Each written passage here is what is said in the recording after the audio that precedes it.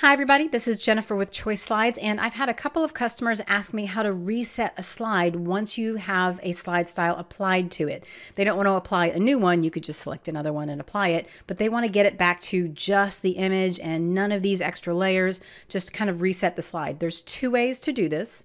You can come into your slide settings, and then over in the options panel, come all the way down to the bottom and hit reset slide. That gets rid of the slide style and you're back to one image in a slide.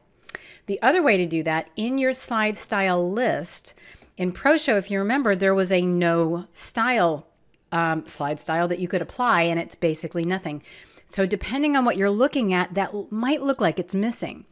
The no style slide style is not in any category. So if you are looking at a category, you won't see it. You'll have to change this to all effects and then scroll all the way to the top.